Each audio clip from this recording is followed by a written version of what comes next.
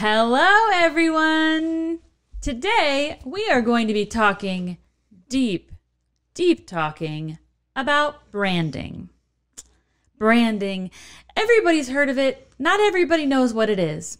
On today's Straight Shot Marketing Podcast. Welcome to Straight Shot. Marketing is everywhere, it's around your life, from what you eat to what you wear and where you go. It is a vital part of any and all business. Let's discuss the world of marketing and business as it influences everyday life with the staff of Atlanta marketing agency Reformation Productions and guests as they give it to us straight. Get ready. Take aim. Steady.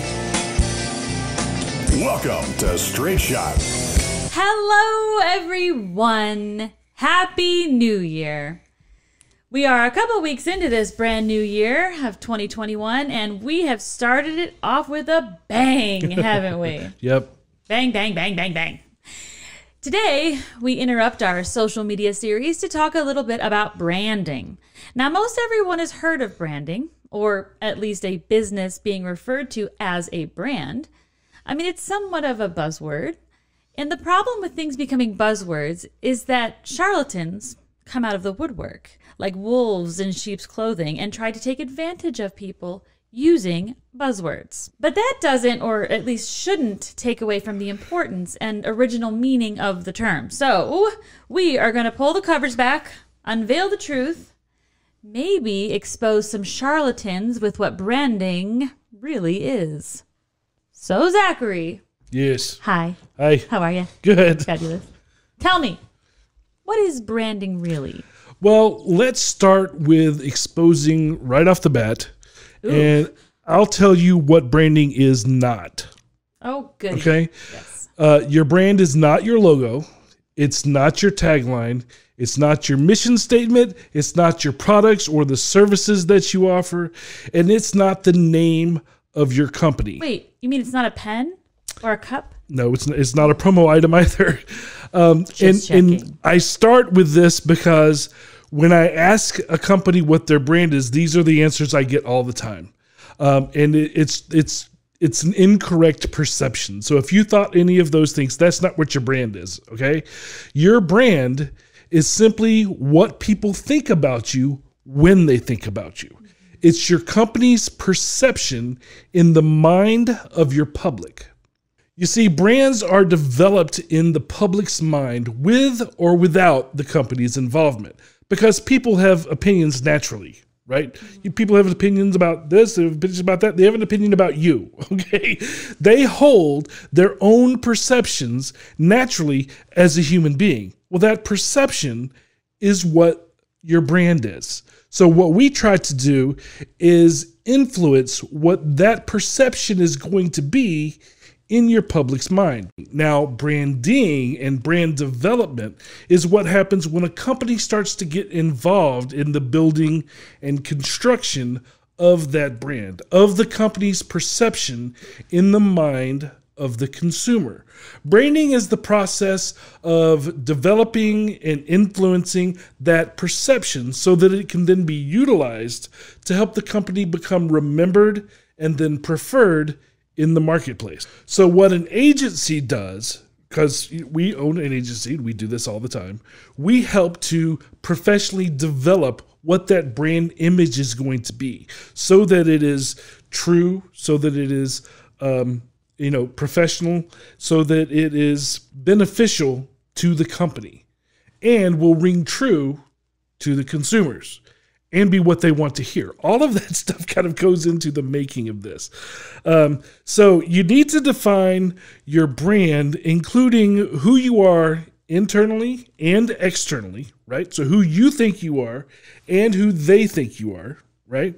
And then we need to communicate it to your potential and existing customers so that you can become, again, remembered, chosen, and preferred in the marketplace. That's the purpose of the brand. And you're going to need that brand in order to become efficient and effective in all of your communication efforts that your company is going to do moving forward. Now, if you remember back when we did the uh, SBA episode during the small business series, remember the three legged stool? I remember the three legged stool. Marketing or communications is one of those legs that the business is built on, that it stands on. You remember if any leg is falters, the whole business comes crumbling down. Marketing is one of those legs.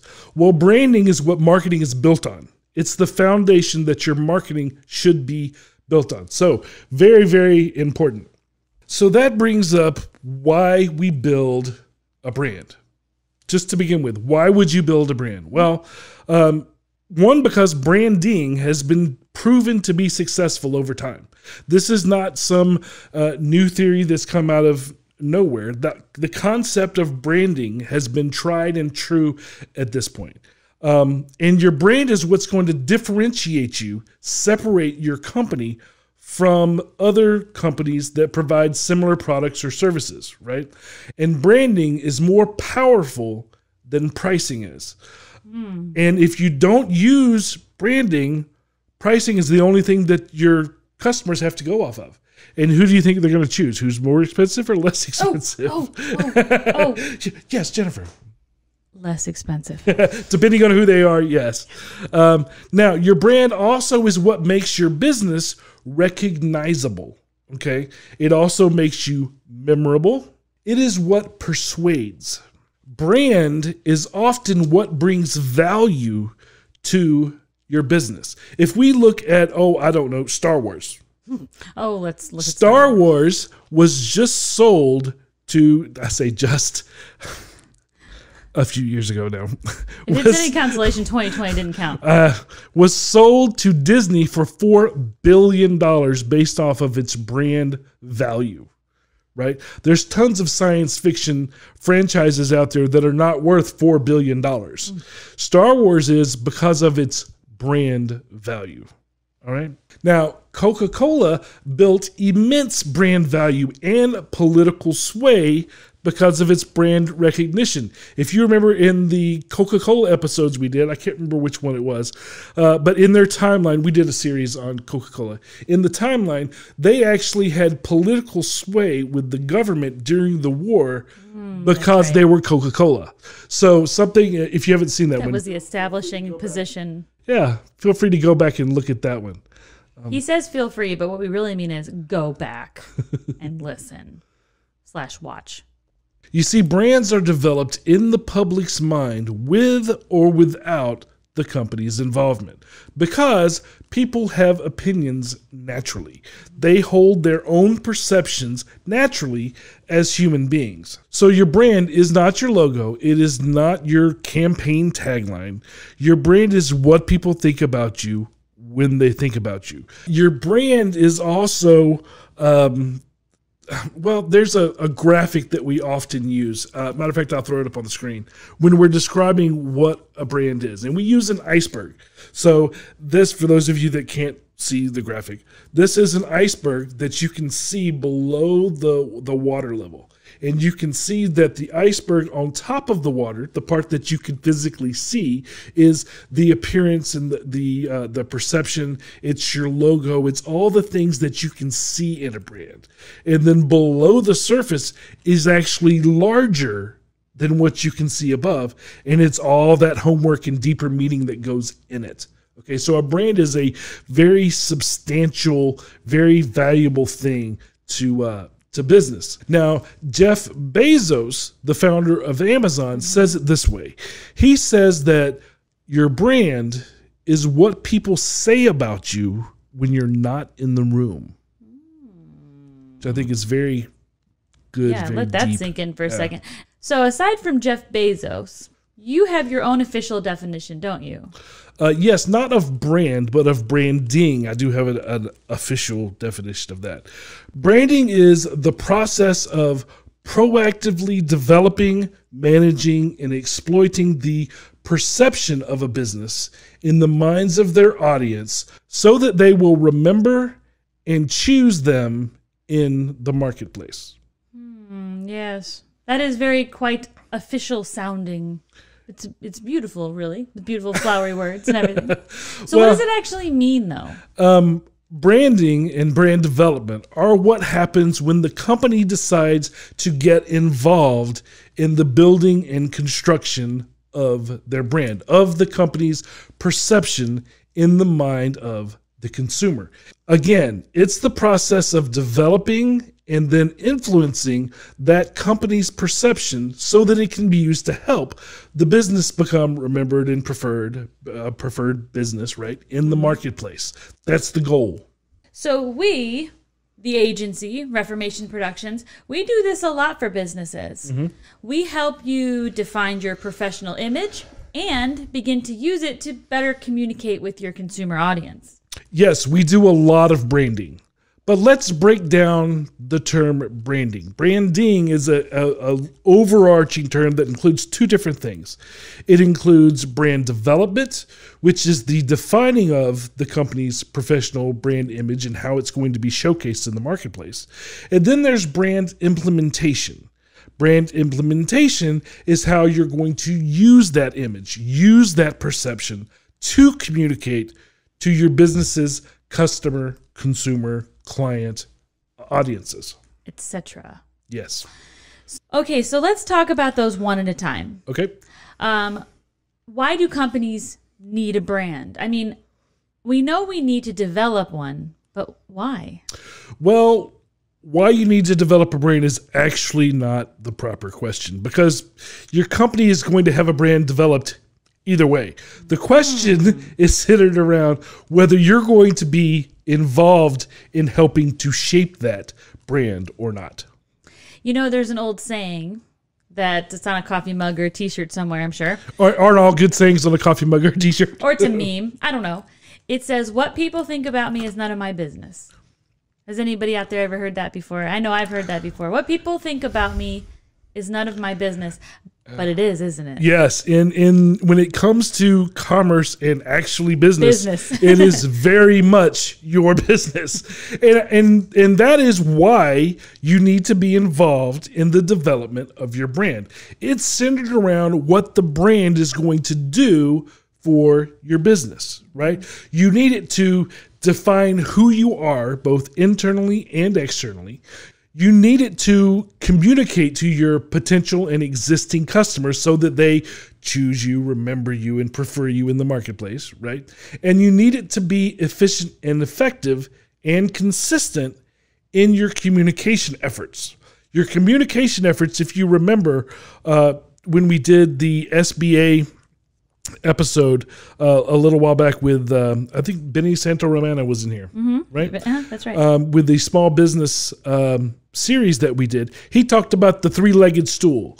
And marketing was one of those legs that the business stands on. And if, of course, one leg falters, the whole business falls over. I right? love the three-legged stool. So it is. It's a good analogy, is it not? But uh, but that communications, that leg, is built on branding. With branding, it informs everything that you're going to do as far as your communication efforts are concerned. Now, it's also your business because branding, using your brand to your benefit, has been proven to be successful over time. This isn't branding is not a new concept, right? It's been tried and true. All of the the big brands, big corporations that you know have used it in becoming the Fortune 500, Fortune 50 status that they're that they're at. Brand is what's going to differentiate you and separate your company from other companies that provide similar products or services. Brand is more powerful than pricing. Some hmm. companies use pricing. Oh, we're just like them, but we're cheaper.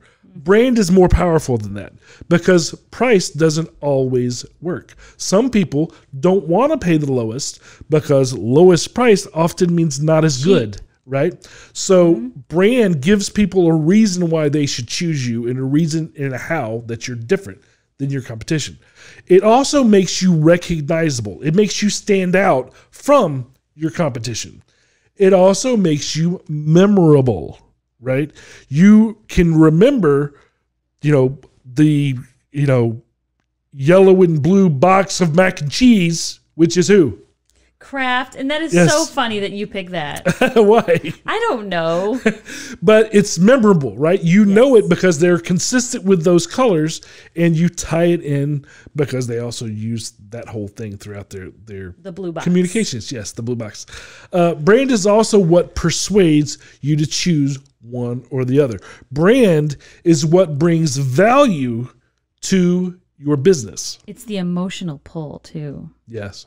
You know, it's what your brand is what separates you from another competitor because of the feelings associated with one over the other as well. If it's done correctly, absolutely. Well, of course, if it's done correctly, we only do things correctly, right, folks? Now, you shared an illustration about how brand brings value in one of your webinars recently, didn't you? Yes, it did. Uh, and I, I actually I think it's very uh, effective in helping people to understand what a brand is as well. Well, I think we should play that clip. This is from the B2B and B2C Champions of Social Media webinar that Zachary did with SCORE last month. Let me illustrate the easiest way to tell if a business has a brand. Now, this is not my illustration. This comes from Seth Godin. Uh, he does keynotes for much larger audiences than I do. Uh, he was a frequent contributor to uh, Fast Company magazine, and he is in the AMA Marketing Hall of Fame. Most of you did not know or care that there was such thing, but he's why I agreed to become a writer for uh, Gray Journal. Uh, but anyway, to the illustration. If Nike was to build a hotel, okay, you can look in your mind's eye and have a pretty good idea of what that hotel would look like. You can see the inspirational posters that are in each room, the jerseys that are used as decor. You can just see it in your mind's eye, right? That is because Nike has a brand. They own a personality in your mind. Now, if Hyatt, a hotel chain, was to build an athletic shoe, you have no idea what that would look like. That's because Hyatt doesn't have an established brand. If your business can swap signage with your competition and no one knows the difference, then you have no brand. With no brand, companies choose direct marketing because they don't have a choice. All right. Hyatt markets on Travelocity and Google where the intent is that you're there to buy something. It's intent based. You go there because you intend to buy. Right? Sounds good, right? Let me show you. This is what kills companies that has uh, no brand. Here on Travelocity, you can see listings of all the same hotels, side by side, cookie cutter, one by one, samesies all the way down. Okay? Then if you look here, this is sort by price. And that is all you have to go by. Otherwise, this hotel is just like any other hotel at the same level. Brand brings value to the company. And it's the reason to choose one over the other outside of price. Now, in that clip, you mentioned Coca Cola. Hmm.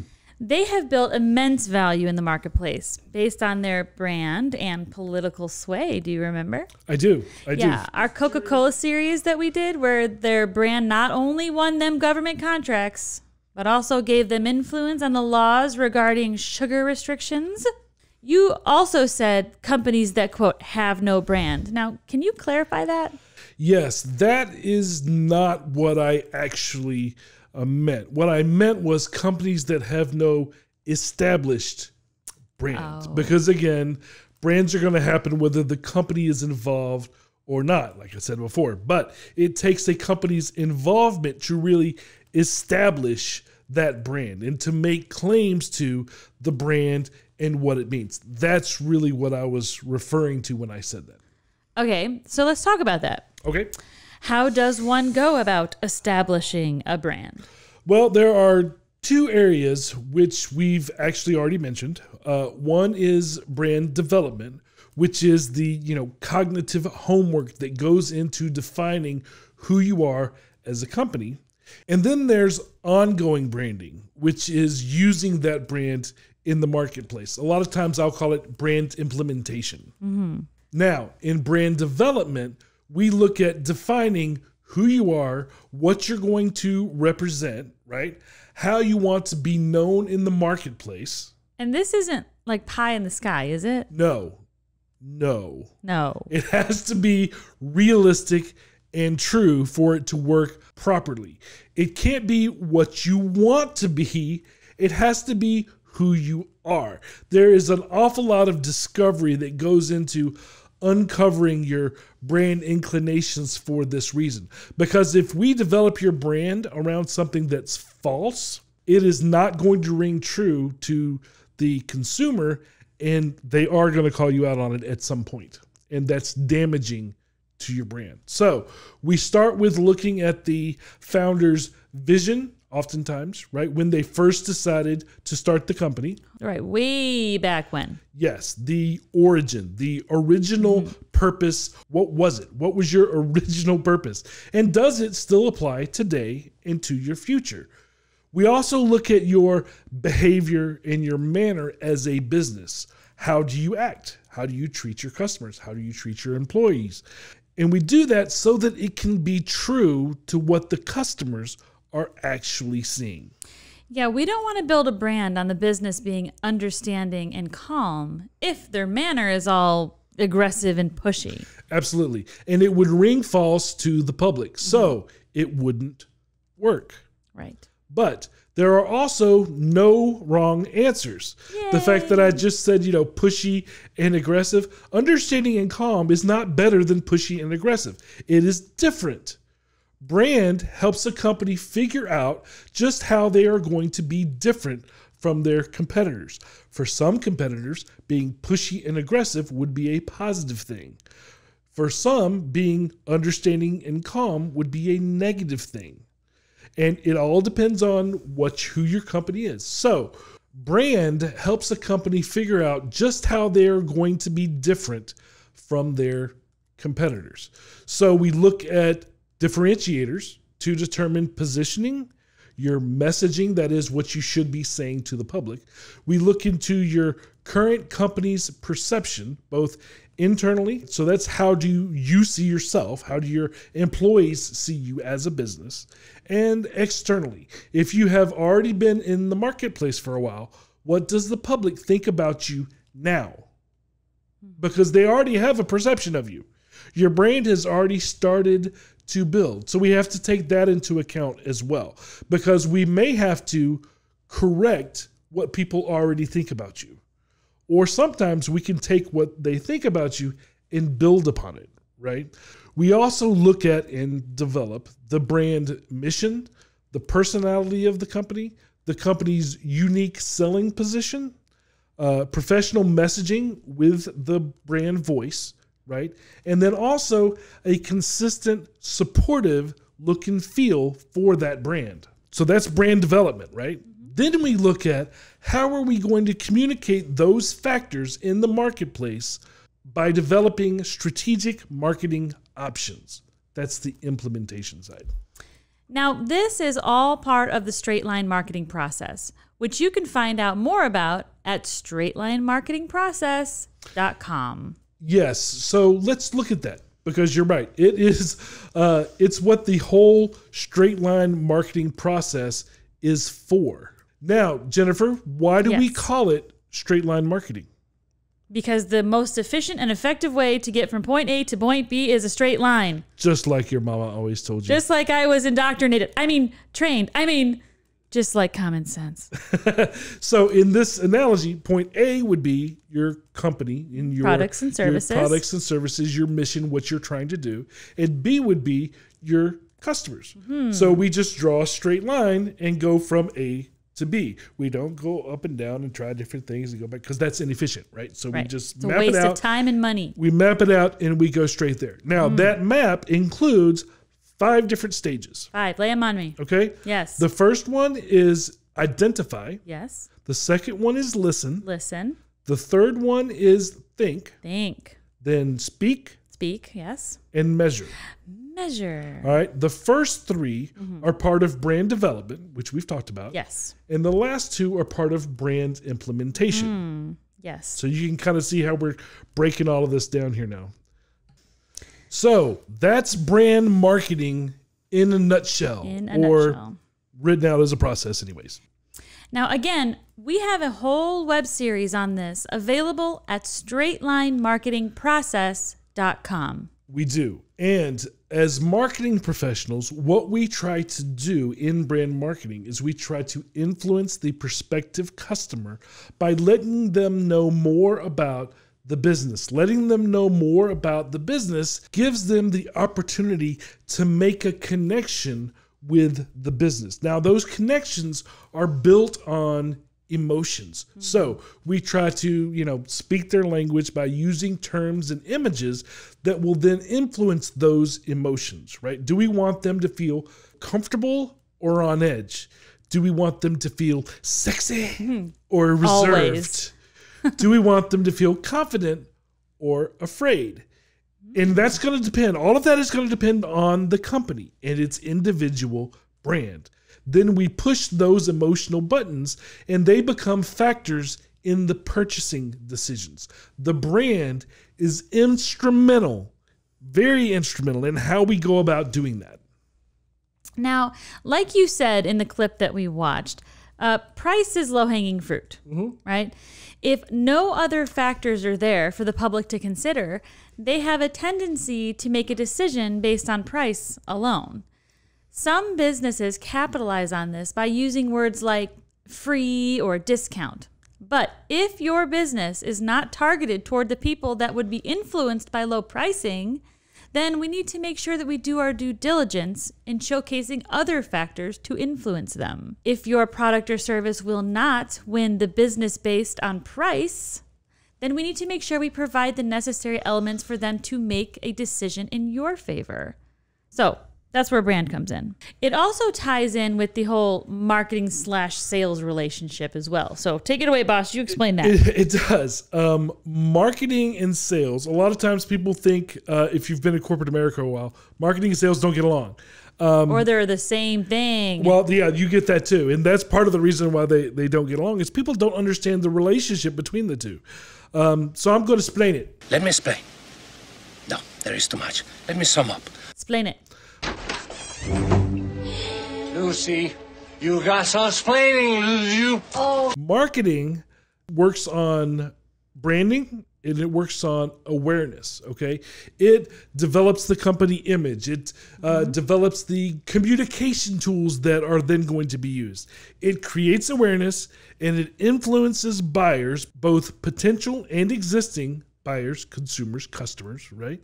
And it provides lead generation tools. Now sales then takes all of that work and all of those tools and really takes it to the street is the way that I say it. Mm-hmm. What they're in charge of is conversions, right? Customizing uh, the different offerings that the company may may have, reading the um, the the body language and the the positioning of the person that they're talking to, and really sales is people skills, right? They have to understand what the company offers so that they can customize it as necessary to get the sale, which is separate than what marketing does. Hmm. Marketing does branding, marketing builds awareness, marketing builds tools, but they don't actually talk to the person you're selling to. That is sales. So it's very important to kind of know how that relationship works. So, in addition to other things, mm-hmm. your brand has to be built on relevance. That is how relevant you are going to be in the marketplace. The marketplace is where sales lives. So you should take into consideration the needs of your sales team, right? But you also have to consider the competition. And of course, you have to consider the consumer, like I mentioned earlier mm-hmm. relevance is that overlap between what you want to say and what people want to hear. That's the sweet spot, right? Your relevance is where those two things overlap. In my graphic here, I have a circle and you can kind of see that where they overlap, that's relevance. That's our goal. That's what we're going for here. Now, there is a lot of responsibility that falls on the brand. So it needs to be developed correctly based on a deep understanding of the company and truth. It has to be true because people will talk about it. What's that old Heather Locklear commercial? It was so good, I told two friends about it, and they told two friends, and so on, and so on, and so on. And for those that didn't understand that reference, here's a newer one. Well, you know how these things start. One guy tells another guy something, and then he tells two friends, and they tell two friends, and they tell their friends, and so on, and so on, and so on. You know how these things go. Yes, funny how those made it into movies. Commercial made it into movies. I bet you that that agency that developed that was like, yeah, I made it into Wayne's World. Wouldn't that be rad? I know, right? We'd love to be referenced in Wayne's World. So, 95% of customers share bad experiences with others. And that's not what you want to be told to friends and so on and so on, right? 96% of unhappy customers don't complain. Mm-hmm. However, 91% of those will simply leave and never come back. Oof.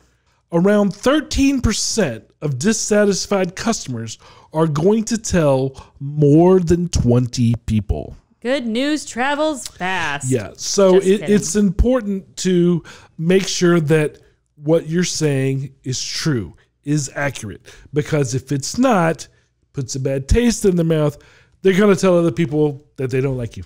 And that's bad. No, no bueno. So here's an, here's another stat. Americans tell nine people on average, right? As far as tell two friends, they tell nine people about good experiences, Oh, that's good. but they tell 16 people Ooh, nearly two times as much if it is a poor experience. because misery loves company. because people love to complain, bitch and moan, bitch and moan. They like it. Yeah. Um, see who's where did this come from? This came from uh, uh, the American Express survey that they did. It's very interesting. Hmm. It's amazing. You know what, though? Not surprising. Because you're absolutely right. Usually, people like to, you know, build camaraderie with other people by complaining about stuff. That's usually how people find the groups that they fall into. Misery loves company. Why are we awful? We should build a factory and make misery. They say misery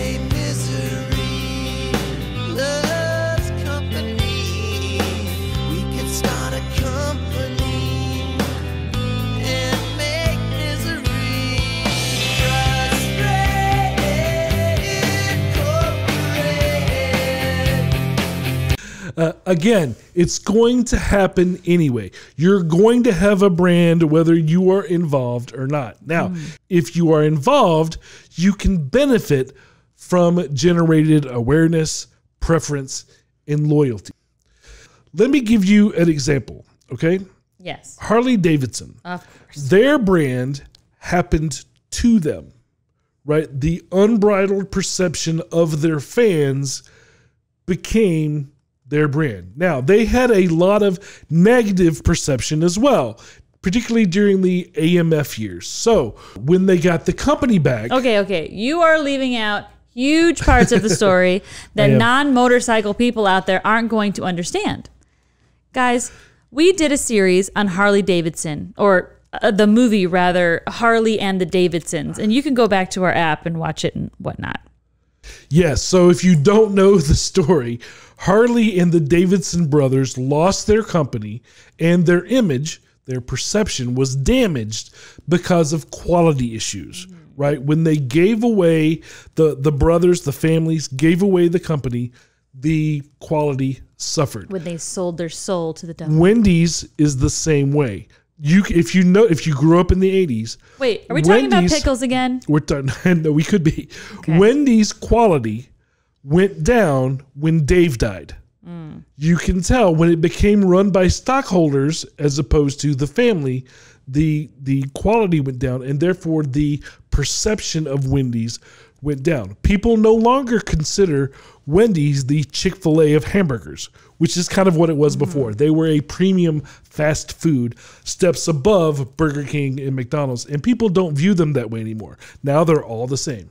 Yes. Right. And So what I was referring to is Zachary is is very upset with Wendy's over their uh, the changing of their pickles. It's Yes. it's a really big issue in our home. It's a it's the it's the pickle controversy. Yes, uh, there's a lot of companies that have changed things uh, over the years that I have not appreciated, but I think that just comes with getting older.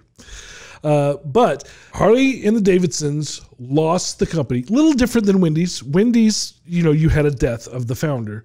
Harley and the Davidsons lost the company to and had to sell it to uh, to uh, AMF. to AMF, right? And when that happened, their image, their perception was damaged due to quality issues. Then the family bought it back years later. Damaged. Yes, damaged. But wasn't Harley Davidson? I mean, isn't Harley Davidson known as being like a monster brand, like a cult brand? Yes, and here's how they did it. Okay, the new company leadership, once the family bought it back, leaned into the perception that was held by their fans, by their customers. Now, with the company behind that perception, it spread like wildfire, along with the professional elements and tools that were developed for them. It spread throughout the marketplace, and now everyone knows them as the rough and tumble, edgy, outlaw motorcycle brand.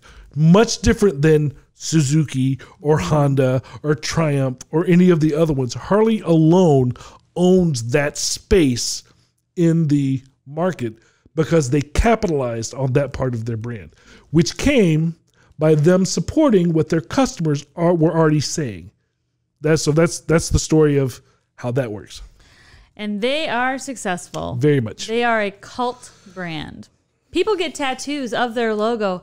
That's loyalty. Now that's brand success. Okay, let's take a break right now to hear from our sponsors. And while we do that, please take a moment to hit the subscribe button, smash that bell, like this individual video. video. It really helps us out with the algorithms here. Yes, and if during the break you want to go out and get a straight shot tattoo, send us a picture. We'd love to put it on the show. Yeah, I'm going to post that stuff on social media. you better hope it's in a family friendly place. See you on the flip side. I was so nervous. I had never done anything like this before. It took courage, stamina. It was exactly what I've been dreaming of since I was a little girl. The road was hard, but we made it together, and I wouldn't have it any other way. Everything was absolutely perfect. Exactly what we wanted. They respect me, and I owe it to them to be the best that I can. They meet my needs, and they're all I've ever wanted. They were exactly what I was looking for. These aren't couples, they're business owners and customers talking about their journeys and business relationships. The study of relationship building has many parallels in both couples and business. Join B. Zachary Bennett in his new book, Married to Marketing, where he uses this comparison to walk through the process and commitment of owning a business and building relationships with customers and creating your story. Order Married to Marketing by B. Zachary Bennett today. Available on Amazon.com in paperback, ebooks, and audiobook. Straight Shot is brought to you by Reformation Productions, a full service marketing agency in Atlanta, Georgia, helping companies promote and communicate their business in the most efficient and effective ways possible through straight line marketing.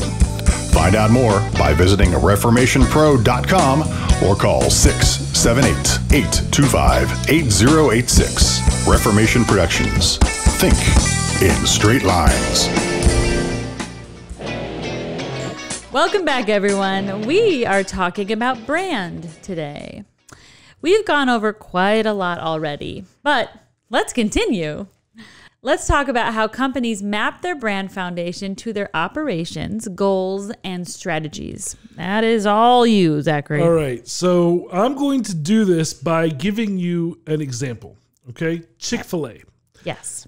Chick fil A started in Atlanta and they wanted to become worldwide, right? They wanted to compete on the global scale as far as being a food chain goes, right? Mm. So let's start with some facts and goals about Chick fil A. Number one, they started in Atlanta. If you didn't know that, they started in Atlanta, Georgia. Whoop, whoop for the local homies. Hapeville, actually, which is in the Atlanta metropolitan area. The big chicken. so, uh, no, the big chicken is KFC. Sorry. No, the big chicken is. The big chicken oh is my KFC. god, I'm so Chicago up in this place. I'm so sorry. I'm so sorry, locals. Yes, uh, Chick Fil A. The Dwarf House is Chick Fil A. The Dwarf House was actually founded in Hapeville, Georgia, which is near the airport. It's inside the Atlanta metro area. It's a part we call um, Hapeville. It's kind of like Brooklyn or Manhattan to New York. Anyway, uh, for those of you that aren't local, that's kind So of so. Where is it in relation to the big chicken?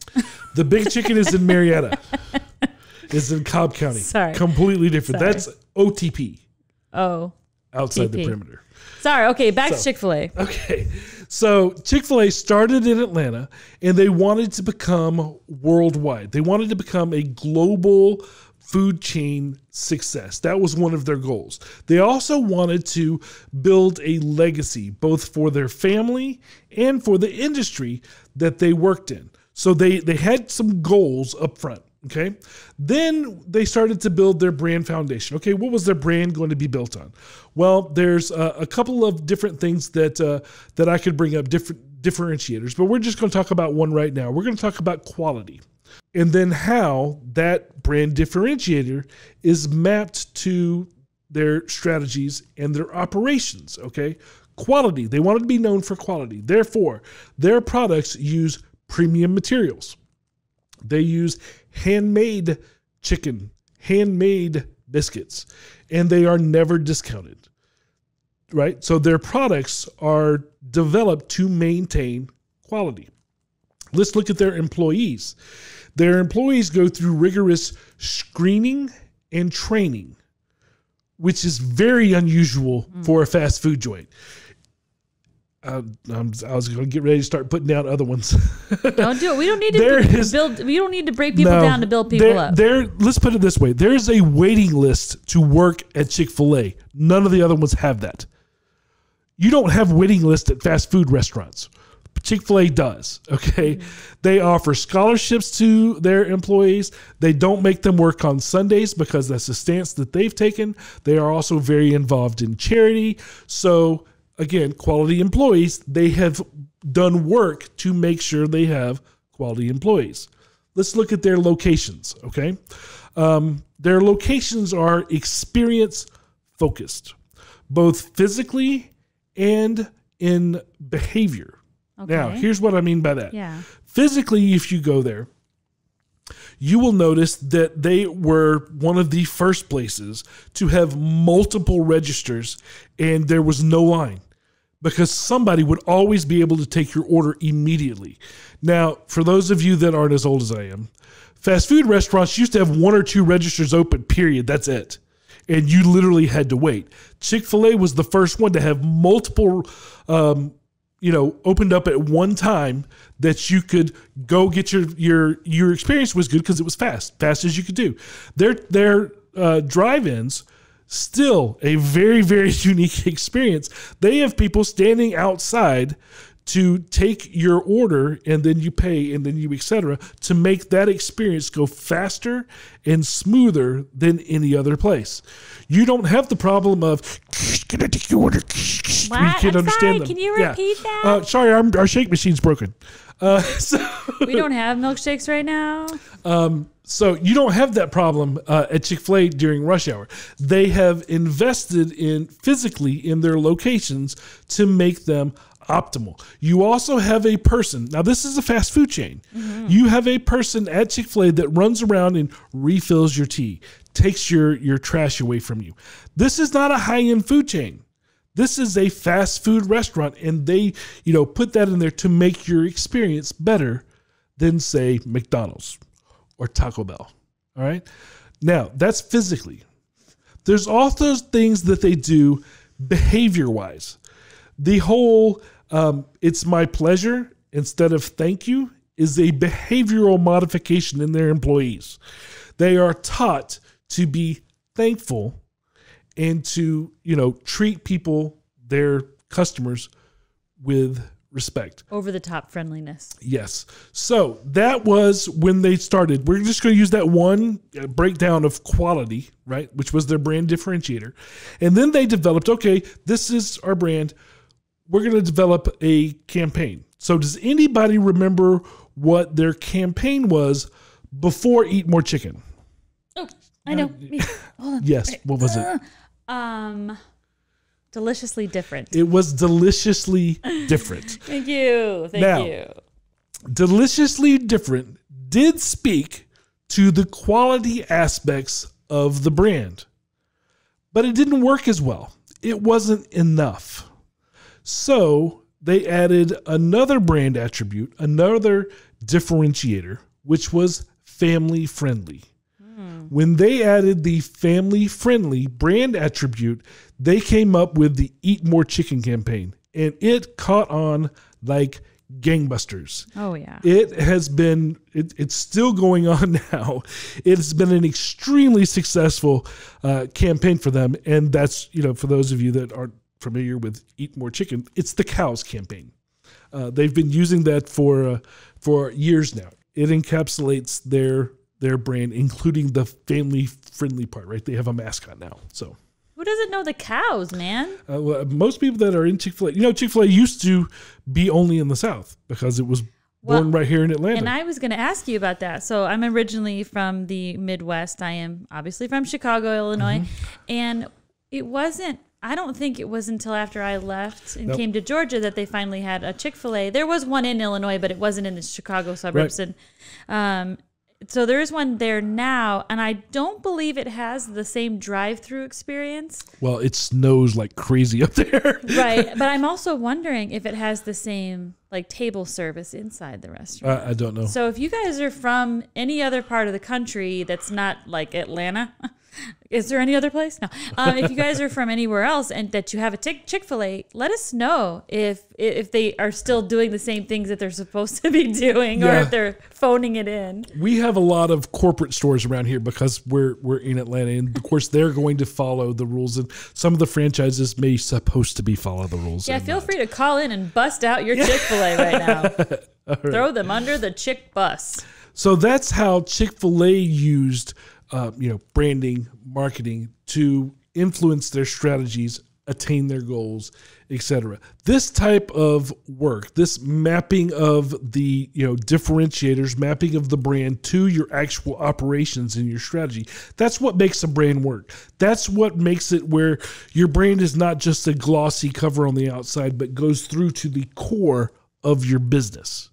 Yes, goes through to the core of your business. Now, there's been a lot of other businesses that have been successful in branding, and one of the things that that they've done is uh, you can tell they're successful because their brand names are now used as uh, you know generic nouns for things or verbs. Yeah, they've replaced the or actual right. verb. For, for example, if I was to tell Jennifer, Yes. Jennifer, Yes. Google straight shot. Okay, let me open my little laptop, open Mm-hmm. up my search engine, and just start looking for straight shot. Yes, Google does doesn't mean search.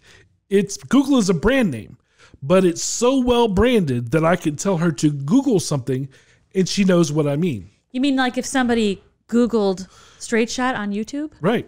Exactly. Now, um, another example of this is if someone tells you to go Xerox something, that means to that means to make a copy of it. Yes. Well, Xerox was a copy machine brand.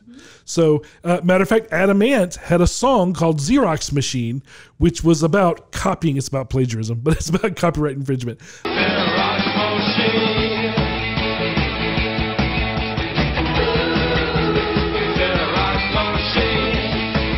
Which had nothing to do with you know mimeographs or copy machines. He was using the brand name Xerox to then represent copyright Because everybody knows what that means. Now, uh, another one is aspirin. If somebody asks you for aspirin, you can give them ibuprofen, and that's okay because they don't mean aspirin; they mean pain reliever.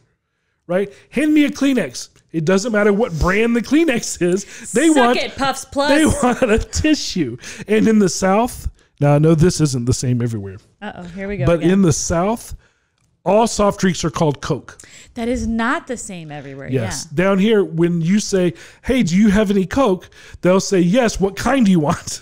Yeah. Now, where I'm from in Chicago, if someone comes up, do you have any Coke? Chances are they're an undercover cop. Oh well, um, Totally You know, they uh, they actually um, Pepsi made a commercial about this. Uh, it was in the Super Bowl, I think, last year, where they were like, uh, they actually had this kind of backfires on them, honestly. Where it they came into a restaurant. Steve Carell was in it. Is in the first one. Went into a restaurant, and the waiter said. Um, was talking to them taking their order and they were like well do you have a coke and they would say well is pepsi okay well that's because when they said, "Do you have a Coke?" they mean, "Do you have any soft drink?" And they were like, "Well, we don't actually have Coke. We have Pepsi." I'll take a Coke. Is Pepsi okay? Is Pepsi okay? Is Pepsi okay? Ow! The point is, they referred to it as Coke. It's not the same Coke I remember growing up as a kid. So the ultimate goal of a brand is to become synonymous with a product or service, like Kleenex, Google, Xerox. That's the ultimate goal. But to do this, it has to be used in that way Interchangeably. a number of times throughout, you know, the years. hmm But before we get way too long in the tooth here about all this, Zachary, why don't you just go on ahead and while you're on a roll, give us a straight shot here? Okay. First is the understanding of what brand is and what the relative terms mean. Okay. So, brand is not tangible. The expression of a brand is tangible. Your brand is your perception in the mind of your audience, which includes who you are, what you stand for, why you're in business, how you're different, and where you stand. It's your character and your personality of a business. So that's the first big takeaway. The next is, you know, what goes into branding, right? Which is brand development, which is the defining of the company's professional brand image and getting the company getting involved in building that brand and how they're going to be showcased in the marketplace. And then brand implementation. That is then using that image, that brand, that perception to better communicate the business to their consumer audiences. So you have to remember again what your brand is not. It's not your logo, it's not your tagline, and it's not what you do. Your brand is who you are as a business. Who are you? Now, Simon Mainwaring, Mainwaring, Mainwaring. I have no idea. Mr. Simon says the keys to brand success are self definition, transparency, authenticity, and accountability. Now, when you're developing it, again, takeaways, summary here, it's important that you remember to be proactive, to be true, to be informed, and to be relevant. Don't forget where you came from and who you are, and embrace where you came from and who you are. The next thing to remember from today Yes. why should you brand? Well, because it's going to happen anyway. Because I told you so. because you might as well be involved in it, right? It'll also benefit your company by having increased awareness, um, a better connection with your customers, better understanding uh, by your your customers of your business. You have to remember that seventy percent of buying experiences are based on how that customer feels about your company. Your brand also helps you increase preference in the marketplace, right? 55% of customers say that they would be willing to pay extra for their favorite brand. That's a large percentage when it comes to the marketplace, not caring about price. It also increases loyalty to your brand. And then lastly, I would say you have to make sure that your brand is true to how you act and true to what you're going to invest in. Only promise what you can deliver. If you promise superior customer service, make sure that you are investing in your employees and allowing them to provide superior customer service. If you promise speed, make sure that you are investing in whatever equipment that you need to accomplish that. If you promise quality, start with the best ingredients, stay with the best ingredients. You have to support whatever it is your brand is promising in your operations. So those are the biggest, I think, Mm. takeaways from what I've said today. And you're right, I could talk about this forever. You know, branding is so important. It is. It holds a lot of responsibility in a successful business's operations. But it's also a lot of work and it's going to take investment. It is either in investing in time Mm-hmm. or investing in money to save yourself time. Right. Well, I hope you've enjoyed our investment in bringing this episode to you. Now, you can show us by subscribing, hitting that little like button, smashing that bell. And we'll see you next time on Straight Shot Marketing Podcast. Bye. Thank you for listening. If you found this podcast informative, we hope you'll pass along our web address, straightshot.net, to your friends, colleagues, and business associates. And please leave us a positive review on our Facebook page at facebook.com forward slash straightshot.